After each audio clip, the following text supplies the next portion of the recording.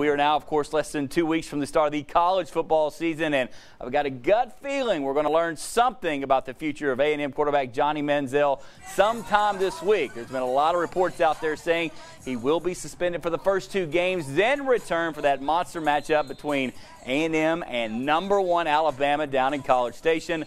The sooner A&M fans can find out, the better. At the scrimmage over the weekend, Johnny Football did not have a very good showing. AP Top 25 is out. Alabama, no surprise, number one. Ohio State, Oregon, Stanford, Georgia, your top five.